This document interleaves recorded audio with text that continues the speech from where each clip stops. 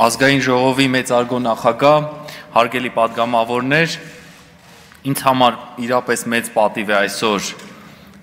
այս տեխնատության առաջադրումը ձեր կողմից եւ հնարավոր քննարկումը իմ տեխնատության եւ քվեարկությունը, եթե այն դրական լինի, մեծ ուրախությամբ կստանձնեմ այդ պաշտոնը։ Ես չեմ ուզենա շատ երկար խոսքեր ասել, թե ինչ ծրագրեր կամ ցանկություններ կան արդարադատության ամենակարևոր օղակում բարձրագույն դատական խորհրդում աշխատելու հետ կապված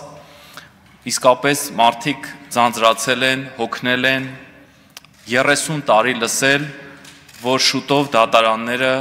այլևս չեն լինելու այնպիսին, ինչպիսին եղել են տասնամյակներ։ Հոգնել են նաև իմ խոսքերից, որովհետև ես այս մասին խոսում եմ գրեթե 20 տարի։ Ես չեմ ասում, որ քիչ բան է արվել, որpիսի մենք ունենանք մեր երազանքի դատարանները, բայց ցավոք նաև ներկայիս քաղաքական իշխանությունը բազմաթիվ անգամներ պնդել է եւ նշել է, որ այդ արդյունքները, որոնք արվել են դատական համակարգում, բավարար չեն։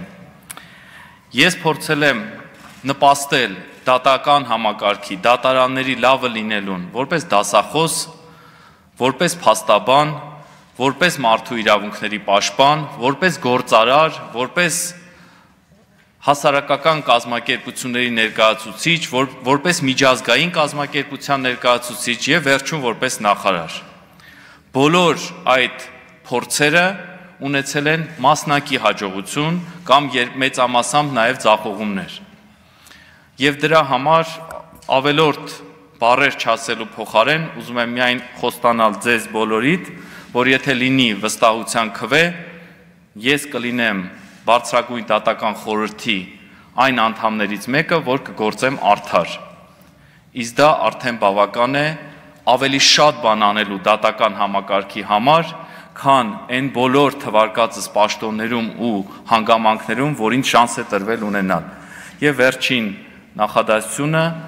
արդար դատարանը միշտ եղել է իմ երազանքը